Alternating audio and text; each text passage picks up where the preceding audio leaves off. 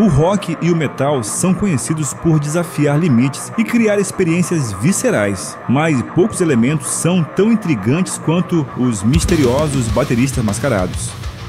Esses músicos não apenas dominam técnicas insanas e ritmos explosivos, mas também escondem suas identidades atrás de máscaras que despertam a imaginação e intensificam o mistério. O que será que motiva esses bateristas a permanecerem anônimos? O que essas máscaras realmente significam e como elas transformam a conexão entre artista e público?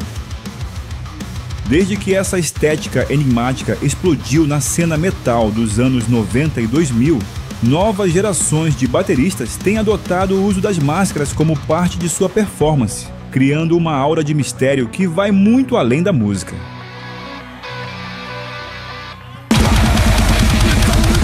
Eles não são apenas músicos, são enigmas vivos que transformam cada apresentação em um espetáculo visual e sonoro.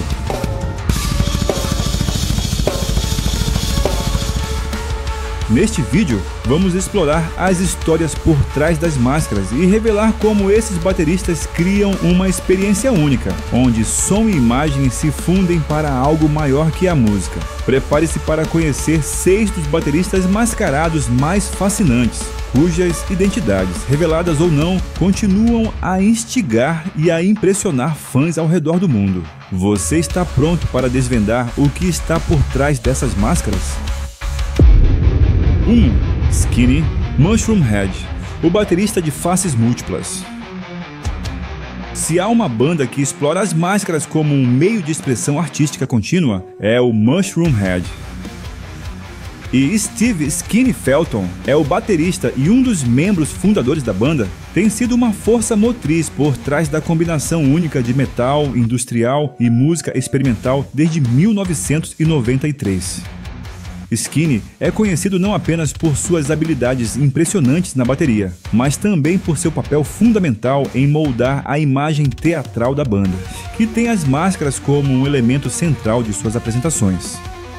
Um dos aspectos mais marcantes do Mushroom Head é o uso de máscaras para intensificar sua presença no palco e expressar temas mais profundos. Skinny, em particular, muda o design de sua máscara com frequência para refletir a evolução sonora e conceitual da banda.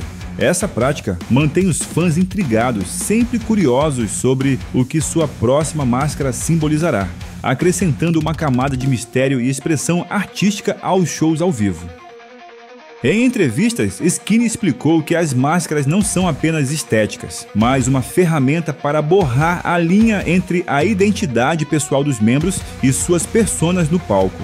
As máscaras, em constante mudança, simbolizam não apenas as diferentes eras da música do Mushroom Head, mas também a adaptabilidade de Skinny como músico, sempre evoluindo com o estilo da banda. Ao longo dos anos, o Mushroom Head passou por várias mudanças de formação, mas Skinny continua sendo uma força constante, contribuindo para a longevidade da banda e o desenvolvimento de seu som icônico. Sua paixão pelos elementos visuais e musicais da banda tem sido fundamental para manter sua reputação como uma potência teatral na cena do metal.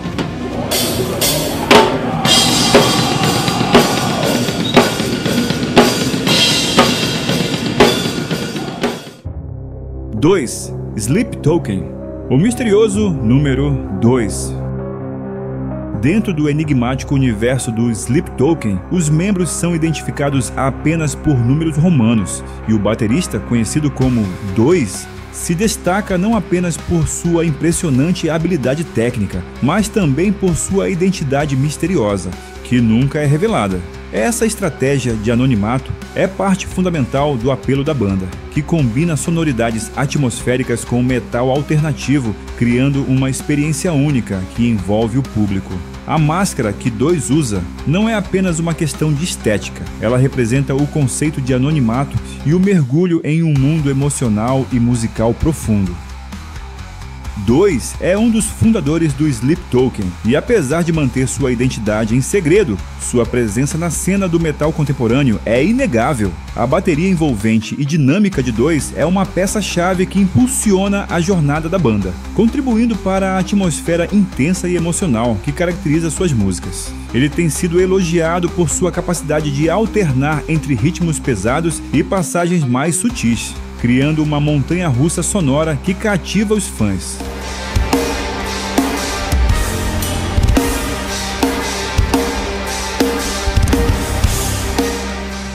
O conceito de anonimato dentro do Sleep Token não apenas provoca curiosidade, mas também reforça a ideia de que a música é o verdadeiro protagonista. A máscara de dois simboliza essa filosofia, permitindo que os ouvintes se conectem mais profundamente com a música, sem a distração das identidades individuais.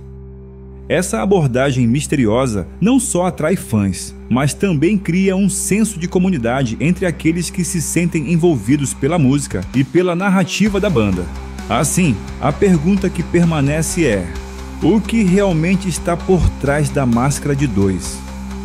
Ele é o coração pulsante do Sleep Token, e seu anonimato apenas amplifica o misticismo e a profundidade emocional da banda, convidando todos a se perderem em sua sonoridade hipnotizante.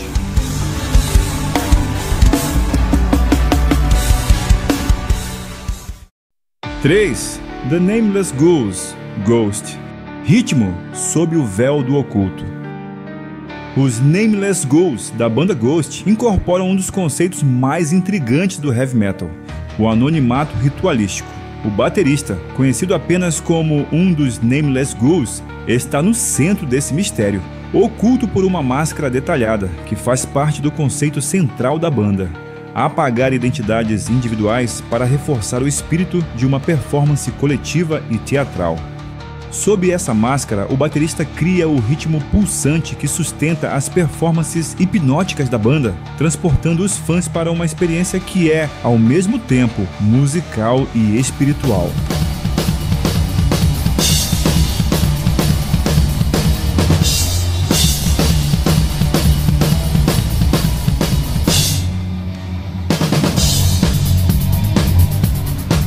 A escolha do Ghost de manter seus músicos mascarados não é meramente estética, é profundamente simbólica. As máscaras dos Nameless Ghouls, incluindo a do baterista, representam arquétipos e entidades elementares. Cada ghoul simboliza um dos cinco elementos: fogo, água, terra, ar e éter. E o baterista geralmente é associado ao elemento terra, refletindo sua importância em manter a base sólida e o ritmo firme das músicas. A máscara usada pelo baterista do Ghost não apenas oculta sua identidade, mas transforma cada batida em um chamado ritualístico. O uso de máscaras na banda é inspirado por tradições ocultas e teatrais, que buscam trazer uma conexão mais profunda com o público, transcendendo a música e criando uma atmosfera onde o visual, o som e o simbolismo místico se entrelaçam. Para os fãs, a experiência ao vivo vai além de assistir a uma apresentação de música. É participar de um ritual imersivo, onde o baterista é uma peça essencial no mecanismo sonoro e visual. Embora a identidade do baterista seja oficialmente secreta, ao longo dos anos houve especulações e mudanças de formação. Tobias Forge, o líder por trás da figura de Papa Emeritus, é o único membro conhecido publicamente, enquanto os Nameless Ghouls trocam de membros sem que o público saiba suas identidades verdadeiras. Essa troca adiciona uma camada de mistério ao conceito da banda. O visual dos Nameless Ghouls evoluiu ao longo do tempo, com as máscaras passando por diversas atualizações e refinamentos. Desde o início da carreira da banda, as máscaras eram mais simples, mas com o passar dos anos, elas ganharam mais detalhes e um aspecto mais futurista, refletindo a evolução do som da banda. Além disso, cada apresentação ao vivo é envolvida em um espetáculo teatral que inclui simbologia religiosa invertida, luzes e uma atmosfera que remete a um culto ritualístico. O baterista por trás de sua máscara é crucial nesse processo criando a fundação rítmica que conduz o público a essa experiência imersiva e mística. No Ghost, os Nameless Ghouls são mais do que músicos. são peças de um enigma sobrenatural. A máscara do baterista, associada ao elemento terra, transforma cada batida em um eco ritualístico que reverbera por todo o palco, transportando os ouvintes para um estado de transe coletivo.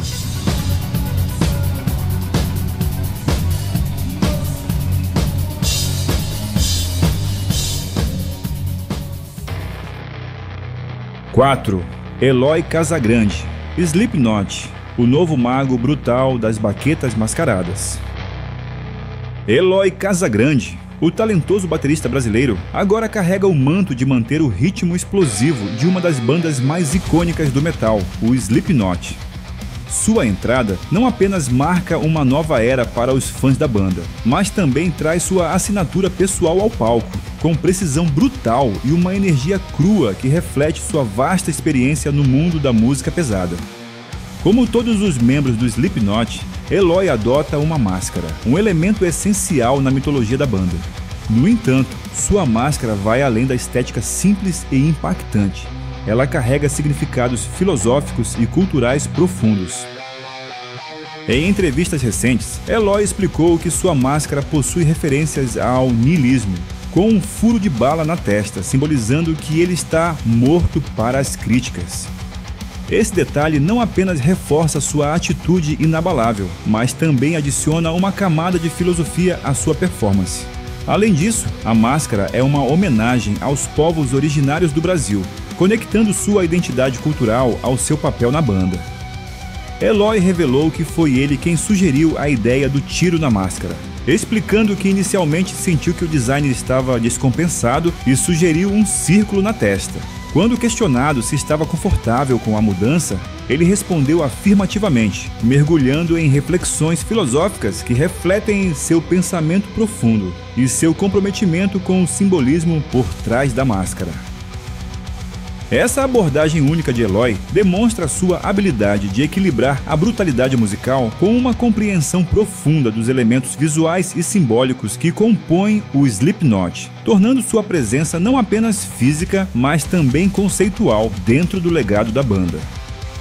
O Slipknot sempre manteve o mistério de seus membros ocultos por máscaras, desde o lendário Joey Jordison até o antecessor de Eloy, Jay Weinberg. Cada baterista trouxe sua própria abordagem única, e Eloy honra essa tradição.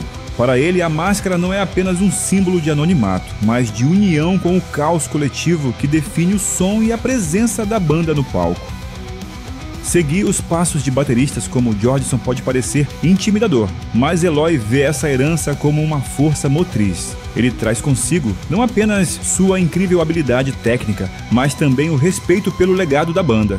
Seu estilo inconfundível já conquistou os fãs, que o veem como o herdeiro natural da tradição rítmica do Slipknot, ajudando a manter a intensidade que fez da banda um fenômeno global. A máscara de Eloy, assim como as de seus colegas de banda, esconde sua identidade, mas revela algo muito maior: a essência do Slipknot. Por trás de cada batida está a força de um músico que coloca a música em primeiro plano, deixando o mistério e o simbolismo tomarem conta do palco.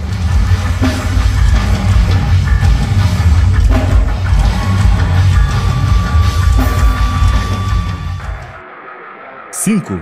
Evgeny Novikov, Slaughter to Prevail, o demônio mascarado russo.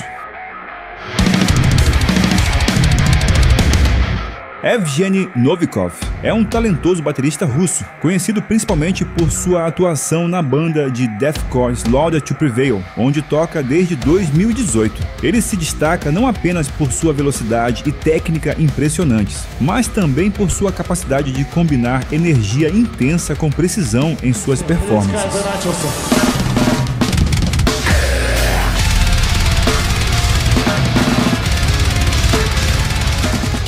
Seu estilo de bateria é agressivo, perfeitamente adequado ao gênero de metal extremo, e ele se esforça constantemente para melhorar sua velocidade e precisão. Em 2013, Novikov venceu o concurso Russian Fastest Drummer, onde conseguiu realizar mil golpes simples em apenas um minuto, um feito que comprova suas habilidades excepcionais. Novikov também é conhecido por se apresentar usando uma máscara, parte significativa de sua persona de palco com o Slaughter to Prevail. Os membros da banda, incluindo o vocalista Alex Terrible, são reconhecidos pelo uso de máscaras de estilo demoníaco, o que adiciona uma camada teatral às performances intensas da banda.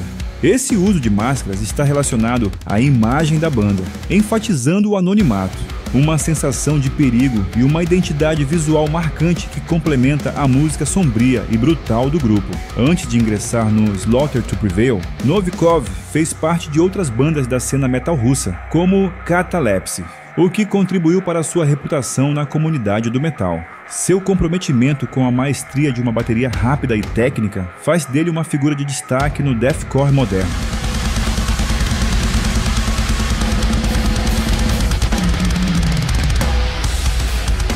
Essa combinação de talento e identidade visual por meio das máscaras fez de Novikov um nome respeitado entre bateristas e fãs de metal.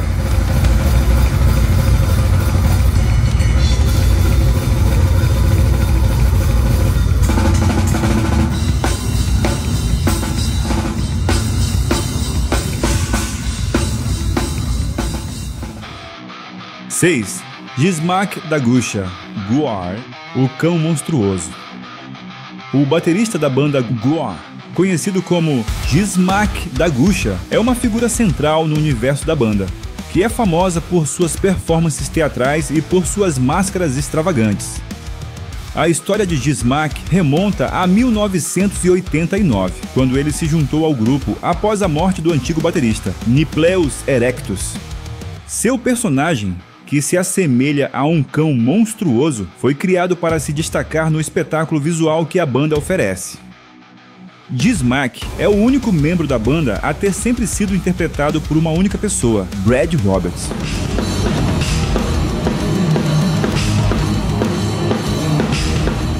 A máscara de Dismack não é apenas um adorno, mas parte essencial de sua identidade artística e do conceito global da banda, que se apresenta como uma mistura de horror e sátira. A estética da Goa é conhecida por ser exagerada e muitas vezes grotesca, com referências a monstros e ficção científica. As performances ao vivo incluem elementos de teatralidade, como esguichos de sangue falso e figurinos elaborados, que atraem a atenção do público e o imergem em um mundo fictício e caótico.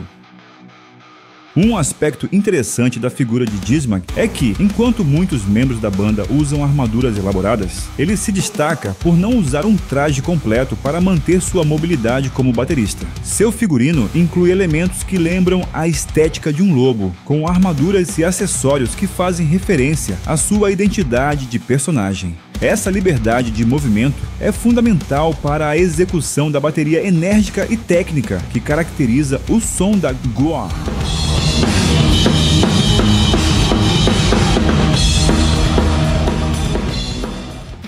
O uso de máscaras no metal tem raízes profundas na tradição do teatro e rituais antigos. Elas servem como uma barreira entre o artista e o público, permitindo uma desconexão entre o músico e sua identidade pessoal. No metal, essa escolha artística oferece liberdade criativa para explorar temas obscuros e intensos sem o peso de ser identificado pelo rosto. Para os bateristas, a máscara é uma forma de transcendência. Eles se tornam avatares do ritmo, figuras que expressam poder e agressão através de cada batida. Com suas identidades escondidas, a música se torna a verdadeira protagonista, permitindo uma imersão profunda tanto para o artista quanto para o público.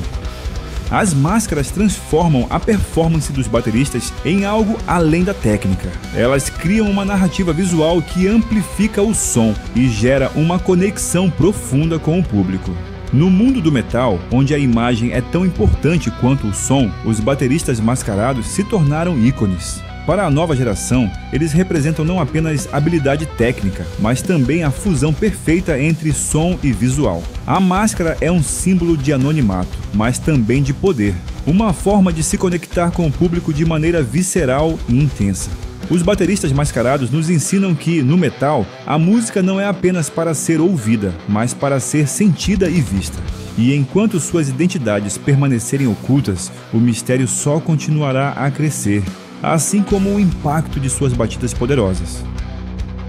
E se gostou do vídeo, não se esqueça de deixar um like e se inscrever no canal para ficar atualizado sobre as novidades do mundo da música e do universo complexo da bateria.